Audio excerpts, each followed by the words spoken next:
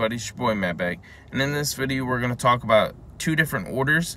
In this video on DoorDash, which is the original stacked order, and this new order, which I call a scam order because it is a stacked order, but it's already batched for you. They're all both of them are already there and whatnot. So let's get into the video. What are the differences? All right, the original stacked order, which you can still get, are just say you go to Chipotle. I use that reference a lot but if we go to Chipotle and then you get there and you swipe right, say that you just got there, and then sometimes you'll get another order from either the same restaurant or another restaurant close by, and then it'll tell you the total that you'll get for, you know, accepting it and delivering it, and then, you know, it tells you the miles, and then you have a certain time limit to accept it and you can decline it, accept it, whatever. It has nothing against your acceptance rate. You don't have to accept it or not.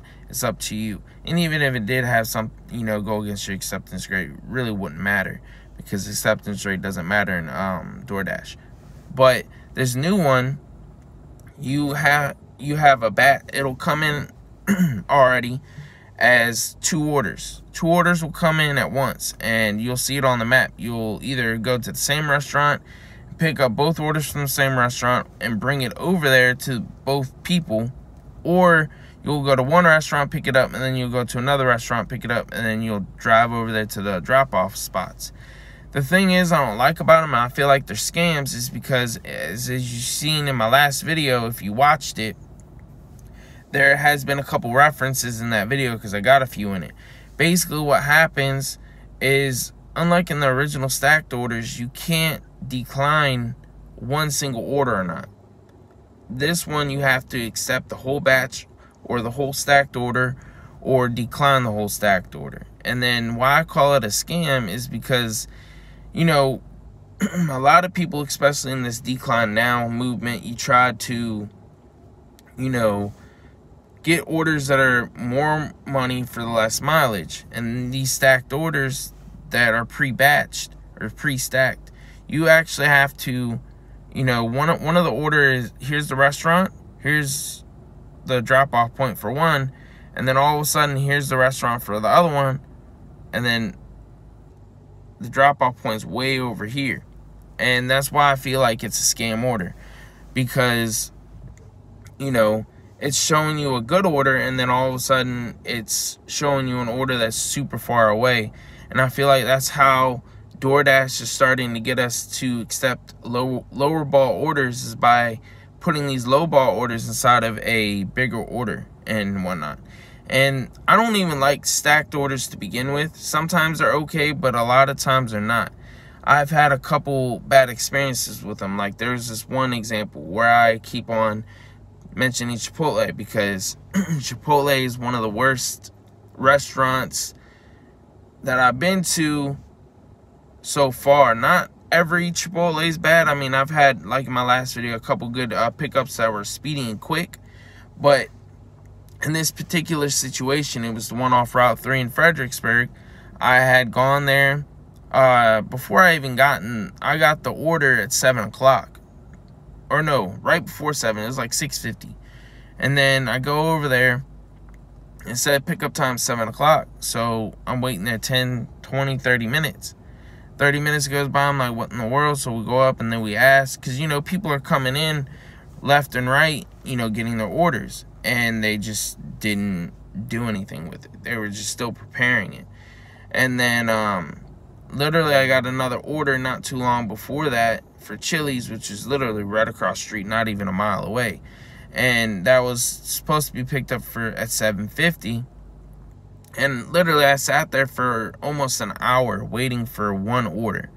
And then by the time I got that, I went over there to the Chili's, got that. Eventually, I had to wait there for like 10 minutes. So basically, my Chipotle order was kind of getting cold. Luckily, it was still kind of close together.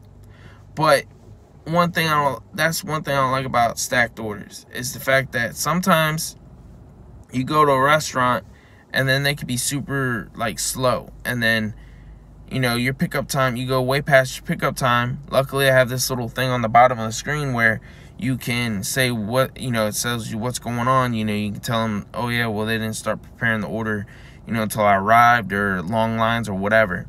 And then, you know, supposedly it's an input that DoorDash can help speed up times, I guess.